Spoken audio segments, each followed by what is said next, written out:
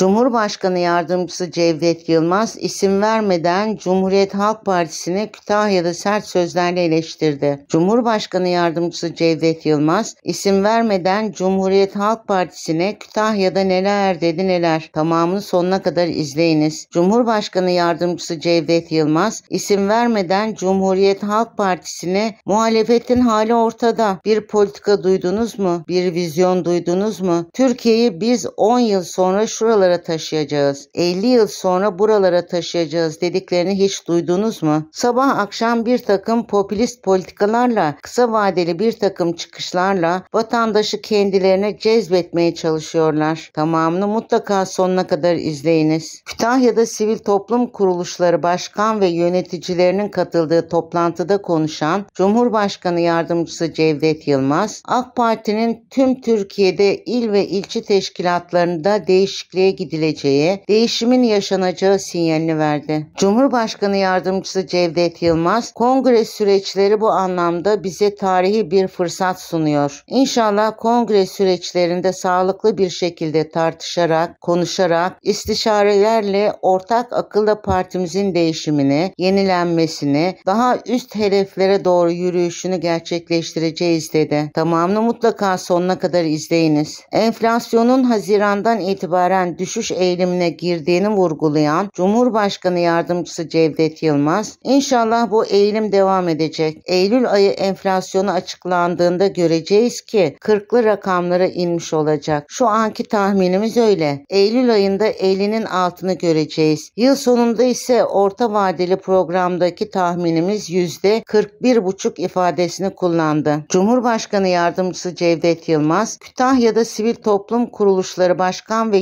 yöneticilerinin katıldığı toplantıda konuşan Cumhurbaşkanı Yardımcısı Cevdet Yılmaz, enflasyonu gelecek yılın sonunda %17,5'a düşürmeye hedeflediklerini ifade ederek 2026'da ise tek haneli rakamlara indirmek için kararlı olduklarını belirtti. Son iki yılda depremin yaralarını sarmak için 2 trilyon lira civarında kaynak ayırdıklarını bildiren Cevdet Yılmaz, yüz binlerce konutu yeniden inşa ediyoruz. 200 binli inşallah bu yıl sonu toplam 450 binini de gelecek yılın sonunda veya 2026'nın en geç ortalarında tamamlamış olacağız. Bundan ibaret değil. Bir taraftan da altyapılar tahrip oldu. Yollar, tüneller, köprüler bütün bunları tamir ediyoruz. Bir diğer yandan da bu bölgelerdeki ekonomik, sosyal hayatı canlandırıyoruz diye konuştu. Dünyanın zor bir dönemden geçtiğini belirten Cumhurbaşkanı Yardımcısı Cevdet Yılmaz, şartlar ne olursa olsun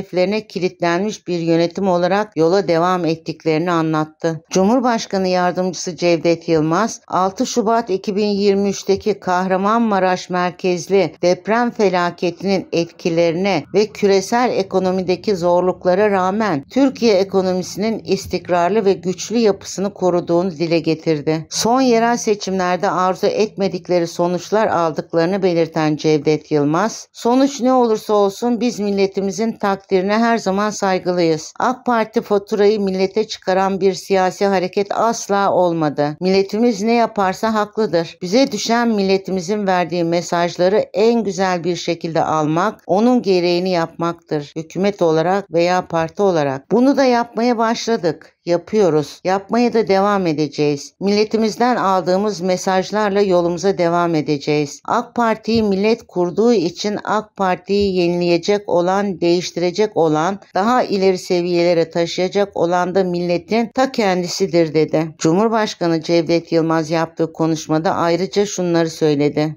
Vatandaşımızın sorunu neyse bizim sorunumuz da odur. Siyasetin gündemiyle milletin gündemi farklılaşmamalıdır. Dolayısıyla bugün en temel mesele olarak bunu görüyoruz ve bu sorunu çözmek için büyük bir gayret içindeyiz. Ekonomi programımıza sadık kalarak attığımız adımların olumlu sonuçlarını almaya başladığımızı ifade etmek isterim. Enflasyon Haziran ayından itibaren düşüş eğilimine girdi ve bu eğilim Ağustos ayında da devam etti. Yıllık enflasyonda son 3 ayda 23,5 puanlık bir düşüş gerçekleşti. %75,5'lara kadar yükselmişti hatırlarsanız. En son hazır açıklanan rakamımız yüzde 52 olarak gerçekleşti.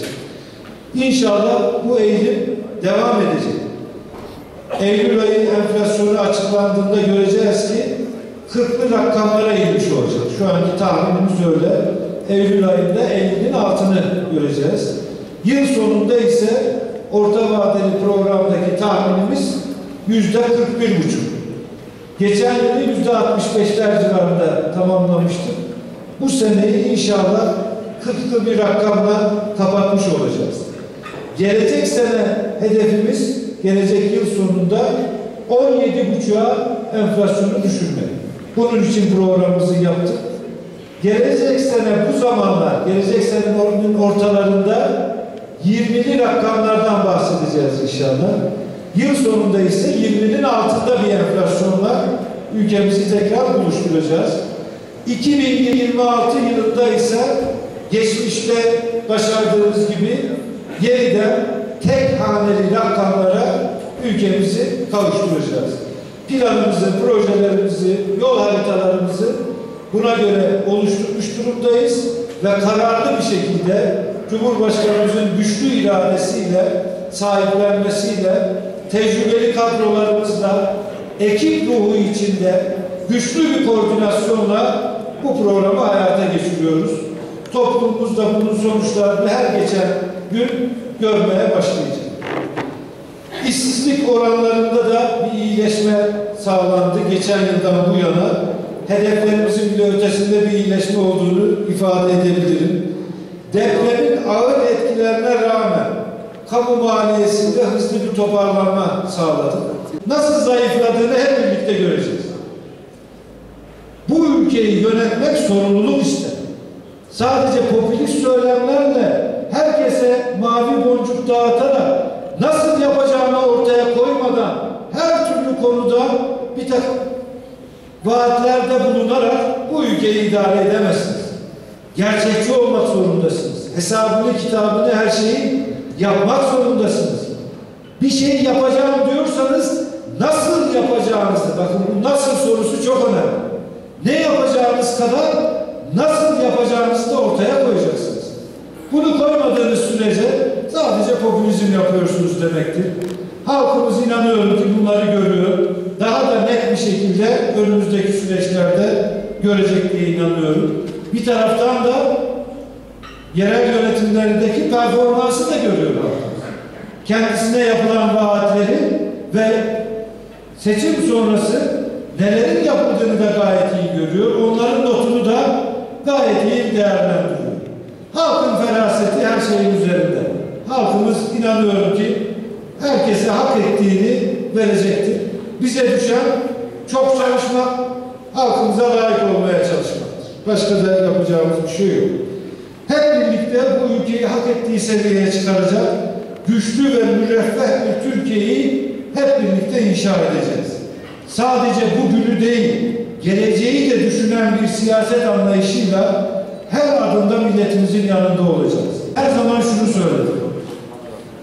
Sonuç ne olursa olsun biz milletimizin takdirine her zaman saygılıyız. AK Parti faturayı millete çıkaran bir siyasi hareket asla olmadı. Milletimiz ne yaparsa haklıdır. Biz bize düşen milletimizin verdiği mesajları en güzel bir şekilde almak, onun gereğini yapmaktır. Hükümet olarak veya parti olarak. Bunu da yapmaya başladık, yapıyoruz, yapmaya da devam edeceğiz. Milletimizden aldığımız mesajlarla yolumuzu, yolumuza devam edeceğiz. Değerli arkadaşlar, AK Parti'yi millet kurduğu gibi AK Parti'yi gerileyecek olan, değiştirecek olan, daha ileri seviyelere taşıyacak olan da milletin ta kendisi.